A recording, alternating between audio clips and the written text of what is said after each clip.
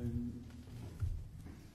Guillemin, il me, il me rend sensible la duplicité de, des plus riches qui arrivent à nous voler tous les mots dont on a besoin pour organiser notre, notre monde, notre contrat social.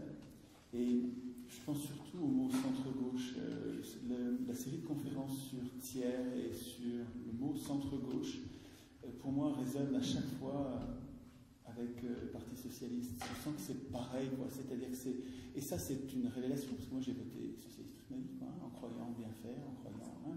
et bon, je réalise tardivement que.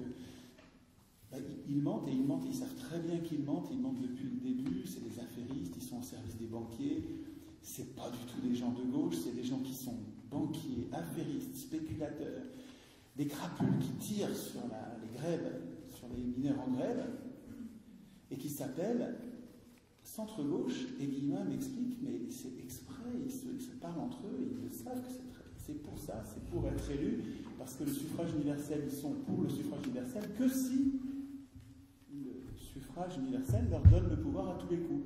Il y a une conférence de Guillemin sur le fascisme en France où il explique, et je trouve ça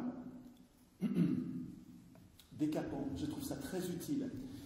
Il, donne sa définition du fascisme en expliquant que le gouvernement représentatif, le suffrage universel, les riches, les puissants, les gens de bien avec un S sont d'accord, tant que le régime, le système de désignation des représentants politiques leur donne à eux le pouvoir. Quand euh, le socialisme vrai, quand les, les, les gueux commencent à faire mine de la, quand la cariatide arrive à, à bouger et à s'émanciper, alors ils ne sont plus du tout ni ni, même parlementaires, ni même. Euh, ils sont plus pour le suffrage universel, ils deviennent fascistes, c'est-à-dire qu'ils veulent le pouvoir de gré ou de force.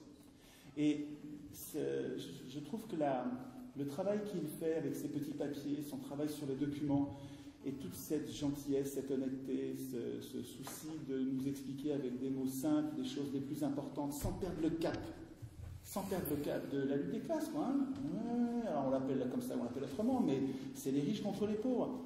Euh, c'est très très utile. Il, faut peut-être qu'on trouve un autre mot que riche et pauvre, parce que euh, le pauvre qui deviendrait riche, il est aussi dangereux que le riche actuel. Hein C'est-à-dire que c'est pas une question, il n'y a pas, c'est pas, pas des noms qui sont incriminés, c'est la malfaisance de l'argent et du pouvoir. Trop d'argent ou trop de pouvoir fou. fou. Et notre corps social devrait se prémunir contre les accumulations de pouvoir et de richesse, quels qu'ils soient. Donc quand on dit les riches c'est les riches, du moment, et c'est les ultra-riches, ceux qui sont capables de corrompre le pouvoir politique. Guillemin, il nous aide formidablement à, ce travail d'éducation populaire, de, de, prise de conscience, mais vraiment avec des exemples euh, euh, convaincants pour n'importe qui, que si on ne s'en occupe pas nous-mêmes, euh, on ne réglera pas notre problème politique. On n'a pas de problème technique au pluriel, on sait très bien comment régler les crises économiques. Ce pas des crises, c'est des coups d'État, c'est des hold-up bancaires. Donc on n'a pas de problème technique au pluriel, on a un problème politique. Nous n'avons pas de constitution, il faut qu'on l'écrive nous-mêmes.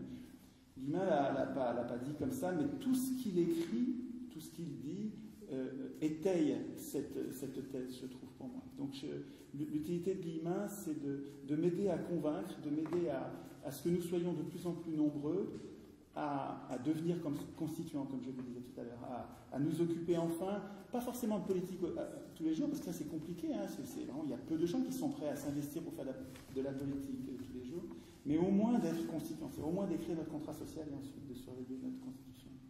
Et Guillemin, euh, en plus de, toute cette euh, exemplarité